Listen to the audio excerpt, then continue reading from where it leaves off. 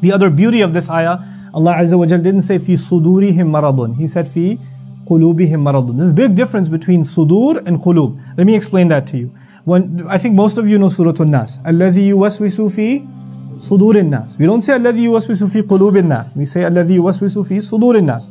If it said qulubin nas, you would have translated the one who whispers in the hearts of people. That's not what it says. It says the one who whispers in the chests of people. Now there's a difference between the heart and the chest. The chest is actually a dharf, it's a place. The thing inside this place the treasure inside this place is the heart. Shaitan has access not to your heart. Shaitan has access to your chest. Think of the, the, the, the heart as your home. And think of the chest as the fence around your home, the front porch, the backyard. Shaitan has access to your property, but he can't walk in until you open the door. You understand? The heart is your home, and that's locked. You can't let him in. But he will come and knock. Hey, hey, you want to listen to something? Hey, I got something for you. People, our, our job is to sense when shaitan is knocking on our hearts. Because he's close, he's in the chest. He is in the chest. And he will whisper in the chest. And when someone's knocking on the outside, can it be heard inside? Can it be? Yeah. And the thing is, sometimes when people knock, you can shoo them away, and sometimes people knock, and what happens? You open the door. If you open the door enough times, he moves in. He just moves in. And when an outsider moves in, they start redecorating the place. You understand that, right? And so what happens is if you don't let him in, you have your own sense of what is beautiful.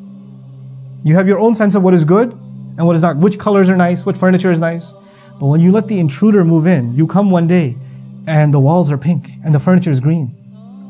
You know, and all the plates are purple. And what just happened here? well, this is my, state, my taste. This is what I like.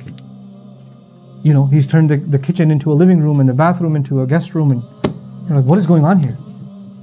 Why am I telling you this? Because if you let shaitan inside of your heart, inside of that home, then what used to be beautiful becomes ugly, and what used to be ugly becomes beautiful. And that's why Allah says, وَزَيَّنَ لَهُمُ الشَّيْطَانُ أَعْمَالَهُم Shaitan beautified their deeds for them.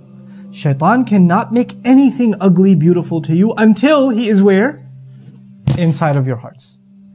Now, if you don't let shaitan in your heart, what is still in your heart? Iman. وَلَكِنَّ اللَّهَ حَبَّبَهُ إِلَيْكُمُ الْإِيمَانِ وَزَيَّنَهُ فِي قُلُوبِكُمْ He beautified Iman in your hearts. You understand this imagery?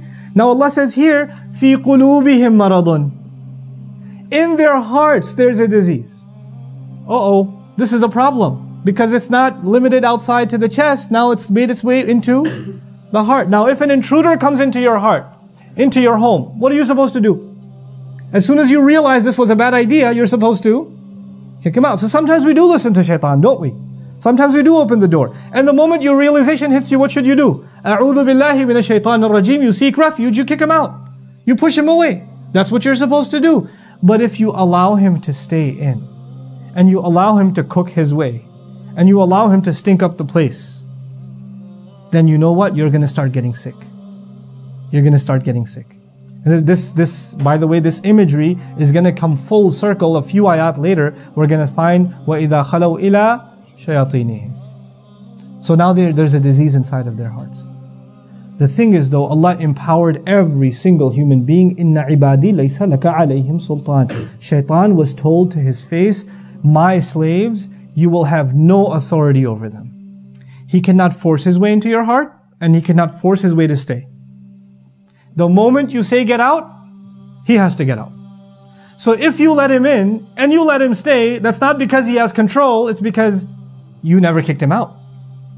And if you refuse, Allah gave you every tool possible to kick him out. Just say, A'udhu Billah. Just make istighfar. He'll be gone. That even in the month of Ramadan, when the shayateen, what happens to them? they're chained, they've done such a redecoration inside of you that you're operating as though he's still there. He's, he's autopilot. Shaitan's not there, but you're doing his work anyway. Because they're shayateen al-insi wal jinn. You ever wonder why Allah says they're shayateen, they're devils of the human beings and the jinn? There are devil, devils that are jinn, obviously. But how can devils be human? You know the human beings who let shaitan inside and let him stay for a long time? They become them. They convert. They just become shayateen. Subhanallah.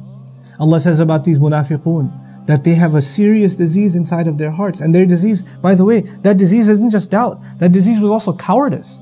They were cowards. They weren't willing to stand up for this religion. And I told you, their hypocrites cannot be compared to our time, but we have a similar problem. Not the same problem, but certainly a similar problem. There are going to be three reactions to Islam even today. There are going to be people who say La ilaha illallah, Muhammadur Rasulullah, sallallahu alaihi wasallam, and they will take pride in it, and they will see it their honor that they're Muslim. And no matter what, Nothing is above Allah's word. Nothing is above the words of the Prophet ﷺ. The obedience to them is supreme. That guidance is beyond criticism. And they believe that in their heart of hearts. Even when they make mistakes, they know the mistakes are theirs. They can be flawed. They can be mistaken. The deen of Allah is not mistaken. The deen of Allah has no problems. The deen of Allah has no criticism. On the other extreme, you will get people who absolutely hate Islam and the Muslims. You're going to get those people. They're going to be on the other extreme. And guess what you're going to get in between? We should have a little bit of compromise. We should, I mean, we don't have to be that, I mean, stern in our belief in the Quran. I mean, we could take things lightly a little bit. After all, it is 2016. You have to just, you know, go, go with the times a little bit. That reaction of let's just kind of work both out a little bit. Because, you know, if you really truly believe, you might become too extreme. So we have to balance both sides that's actually a byproduct of that original hypocrisy that used to exist back then. Our deen, by definition, is already balanced. Thank you very much. You don't have to come in and offer it your version of balance. It's already got the best of this world and the next, balanced for us by Allah Himself. So when you come along and I come along and say, you know what, let's balance, let's have a balanced approach to Islam.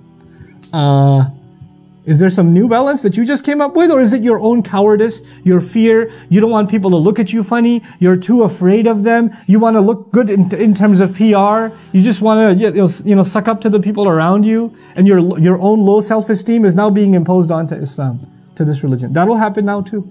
So as we study this, we have to actually kind of look in the mirror too. About, you know, what kind of mentality towards this religion we carry.